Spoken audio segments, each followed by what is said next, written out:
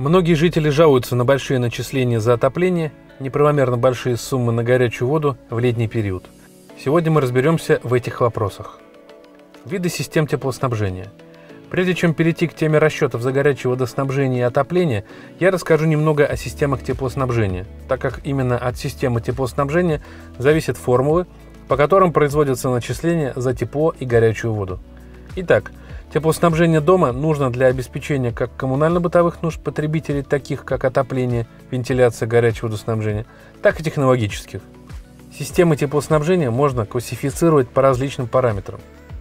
В зависимости от размещения источника тепла, централизованные и децентрализованные, и по способу горячей воды на горячее водоснабжение, открытые и закрытые.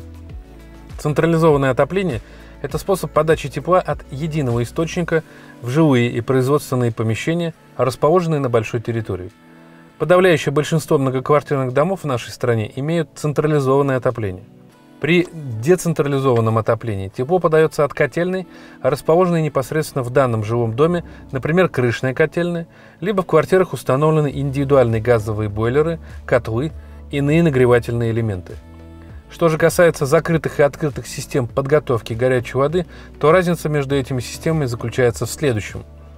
Открытая система теплоснабжения – это система, в которой горячая вода нагревается в ТЭЦ, ГРЭС или котельной и отбирается из тех же труб, по которым течет вода к отопительным приборам, регистрам стальным, конвекторам и радиаторам. Данная система имеет ряд недостатков, а именно чистота и температура воды не соответствуют санитарным требованиям. Закрытая система теплоснабжения – это система, в которой горячая вода подготавливается уже на объекте теплопотребления из холодной воды и тепловой энергии при помощи пластинчатых теплообменников. Именно такой способ применяется в большинстве многоквартирных домов Республики Татарстан, то есть в тех домах, где была технологическая возможность установки теплового пункта. В таких системах от поставщика теплоэнергии, например, ТЭЦ, поступает теплоноситель, а его температура регулируется до необходимой величины для нужд отопления и горячего водоснабжения тепловыми пунктами, которые распределяют его потребителям. Современные тепловые пункты в домах оснащены узлом погодного регулирования, который автоматически, в зависимости от того, какая погода на улице, регулирует температуру теплоносителя в батареях помещений многоквартирного дома. Преимущество закрытой системы теплоснабжения заключается в высоком качестве горячего водоснабжения. Кроме того, она дает энергосберегающий эффект. К минусам можно отнести высокую стоимость самого теплового пункта в случае необходимости его замены. Начисление платы за горячую воду.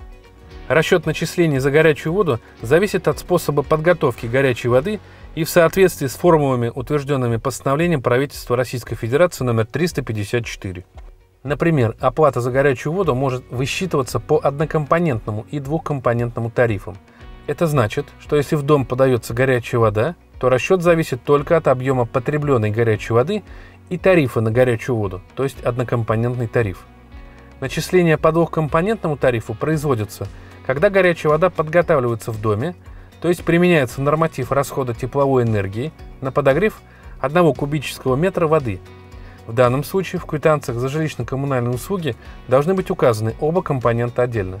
Горячая вода, в том числе холодная вода для нужд горячего водоснабжения и тепловая энергия для нужд горячего водоснабжения.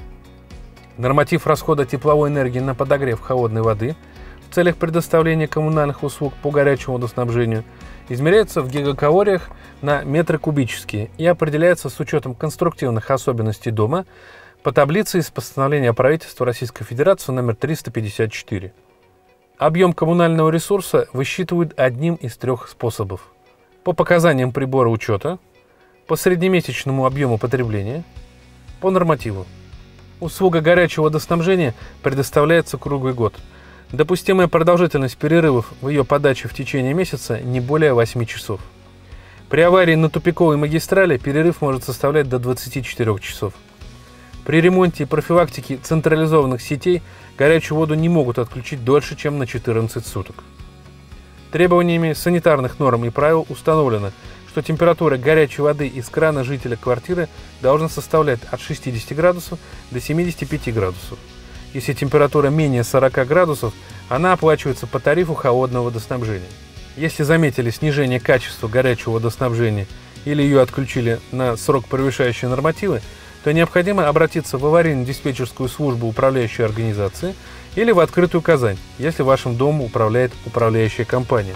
Исполнитель коммунальной услуги, а именно управляющая организация, обязана устранить причины нарушения качества горячего водоснабжения, о чем в акте делается отметка об этом с указанием даты и времени устранения. На основании такого документа потребитель вправе обратиться в управляющую организацию с заявлением о перерасчете платы за горячее водоснабжение.